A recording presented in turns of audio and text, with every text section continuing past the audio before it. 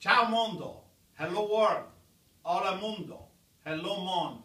We're here today in Brussels to take a cappuccino with some friends from Asahi Medical and the key opinion leaders uh, in CRRT.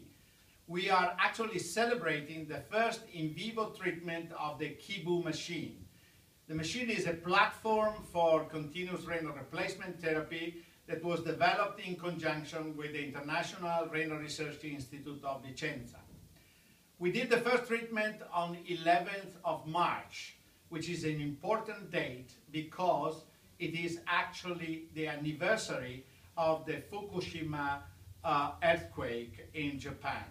We wanted to dedicate this special day of the first treatment to our friends from Asahi in this special day because the KIBOU machine, KIBOU means hope, is going to be the hope for many patients in the future.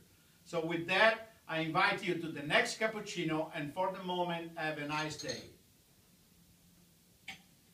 Excellent. Hi. Hi. Hi. Very good.